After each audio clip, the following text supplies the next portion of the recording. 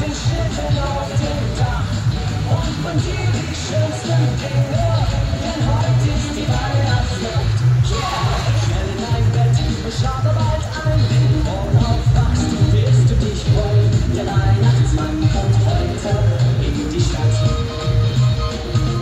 Er klettert durch den Schornstein,